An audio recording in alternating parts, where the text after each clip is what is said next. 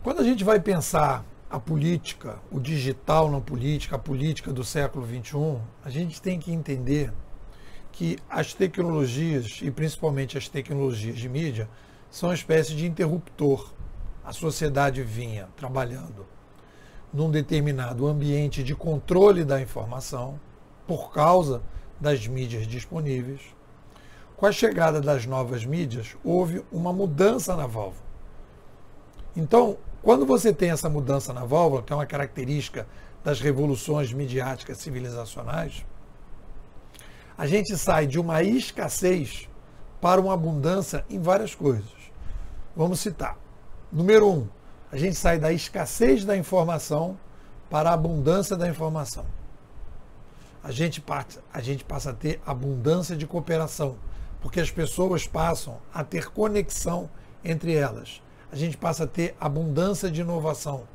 A gente passa a ter abundância de transparência.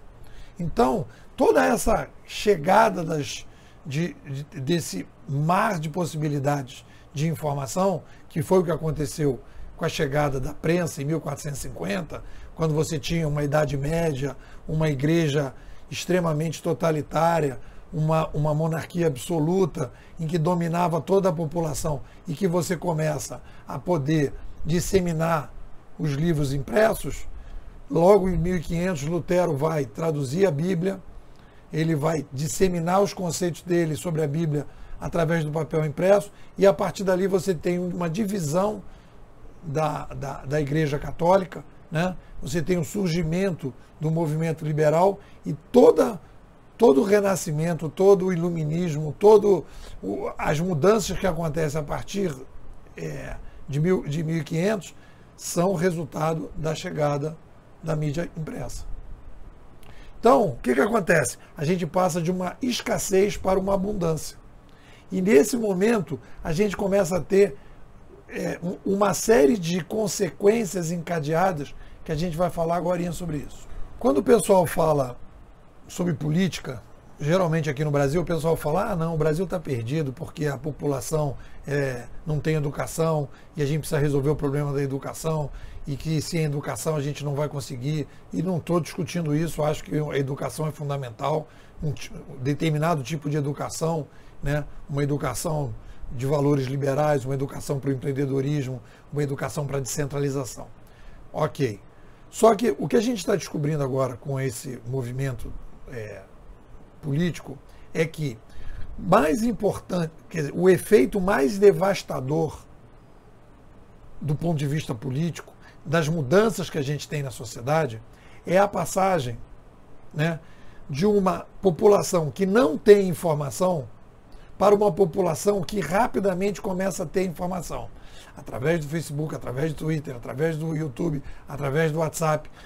Então, começa um movimento que eu que é um, um movimento de aumento de capacidade informativa das pessoas, a possibilidade das pessoas produzirem informação também, disseminando a informação, né? e isso vai tendo um movimento, isso vai criando um processo né? de como se a gente estivesse abrindo uma porteira, abrindo uma caixa, e a partir daí uma série de demandas que existiam na sociedade começa a vir para fora. No caso do Brasil, a gente começa a perceber isso em 2013, com a chegada dos movimentos de massa, com a chegada de um grupo de jovens que começa a dizer: a gente não quer essa democracia que está aí, a gente não quer esse país, a gente não está satisfeito com isso. E aí o que, que há de interessante nesse processo?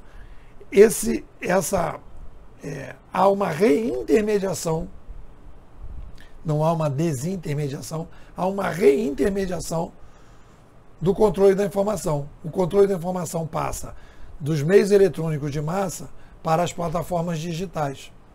Só que as plataformas digitais são muito mais abertas e distribuídas, que têm o seu controle, que têm uma maneira de você regular. As coisas? Tem.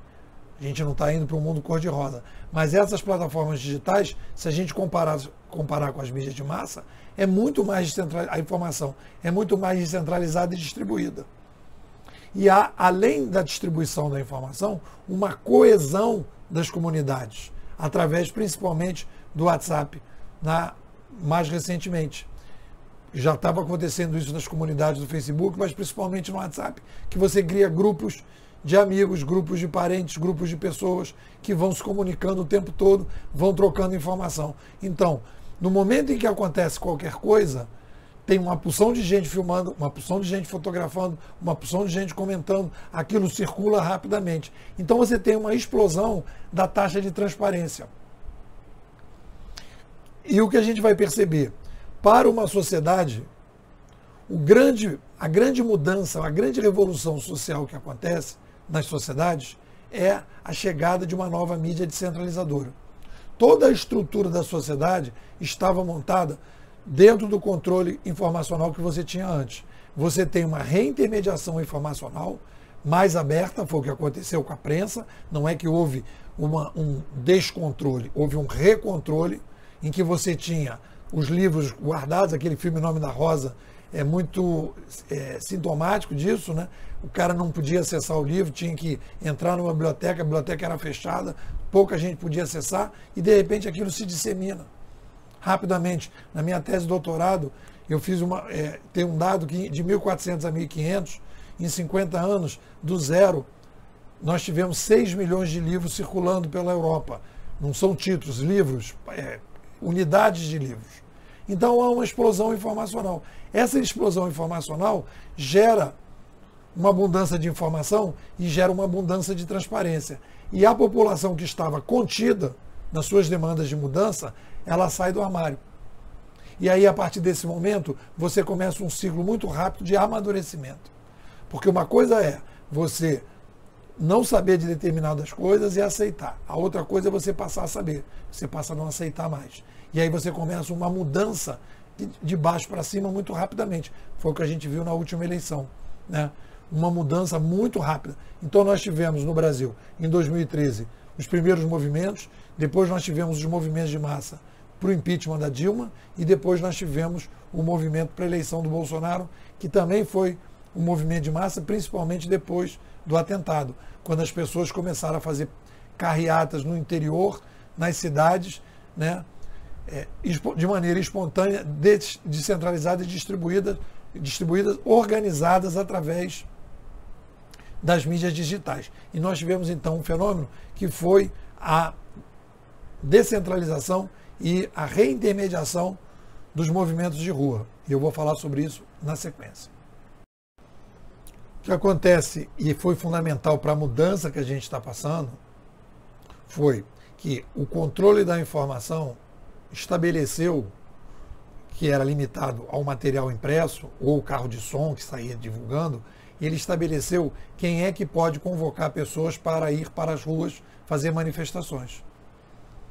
Ou você tinha uma estrutura de organização, que era a estrutura de organização que você tinha, principalmente dos movimentos é, marxistas no Brasil, né? então esses movimentos conseguiam se organizar né? através de sindicatos, através de, de ONGs, através de, de organizações de todos os tipos, e esses movimentos conseguiam convocar as pessoas. Então, só ia para a rua quem passava pelo filtro daquelas organizações que tinham seus determinados interesses. Então você tinha uma estrutura oficial, você tinha uma estrutura paralela e essa estrutura paralela determinava os movimentos de massa que iam para a rua e parecia que só ia para a rua as pessoas, em determinados casos, que era filtrada por aqueles movimentos que tinham capacidade de convocação. Com a chegada do digital, a primeira quebra e o primeiro susto que os marxistas ganham, levam no Brasil, no governo da Dilma, em 2013, quando as pessoas convocam as manifestações, independente das organizações tradicionais, de que convocavam tradicionalmente. As pessoas pelas mídias digitais, isso aconteceu no mundo inteiro. A Primavera Árabe é, em Wall Street, Occupy Wall Street, no, na Espanha, todos os lugares aconteceu o quê? As pessoas passaram a ocupar a rua sem a necessidade das organizações tradicionais. Houve uma reintermediação dos movimentos de rua. Em 2013, só foi parado porque houve um contramovimento dos black blocs, é, na minha opinião, usado para barrar esse tipo de manifestação através da violência no quebra-quebra à noite. E no impeachment da Dilma, o processo de reintermediação, o que, que aconteceu? As pessoas perceberam a possibilidade, mas começaram a fazer as manifestações no domingo de manhã. Foi o aprendizado que tiveram. Então, não tinha como você fazer o quebra-cobra no domingo. Porque tinha muita polícia, era a luz do dia, geralmente em lugares que não permitiam, na praia, em lugares que não permitiam esse tipo de coisa. Aí matou a possibilidade do black bloc. Aí houve o movimento do impeachment da Dilma e houve então o impeachment da Dilma. Então todos esses movimentos foi uma reintermediação política que tudo isso tem a ver, que foi a válvula da revolução midiática civilizacional, que a gente vai ver isso no passado. Então, o Brasil e o mundo ele começa a ter um movimento de massa que vai colocar uma outra agenda, um outro tipo de perspectiva, uma outra demanda que as organizações que, que intermediavam as ruas não tinham essa proposta. E aí a gente muda completamente o panorama político, o cenário político, e a gente vai entender a eleição, a, o impeachment da Dilma, a eleição do Bolsonaro, o ocaso do PT, o ocaso de todo o movimento bolivariano na América Latina, por quê? Porque houve uma reintermediação das ruas, houve um descontrole, um, um, uma uma saída da escassez para a abundância da informação, uma transparência que vai quebrando todos os modelos, não só dos marxistas, mas também da política tradicional. E aí começa a surgir novos movimentos na sociedade, novas bandeiras, novas ideias, novas coisas, e há um renascimento do que eu vou chamar de, de descentralismo, que as pessoas gostam de chamar de liberalismo. Há um renascimento das ideias liberais em função da chegada das novas mídias, que é uma característica da chegada das novas mídias, mas isso a gente vai falar no próximo vídeo. É isso aí.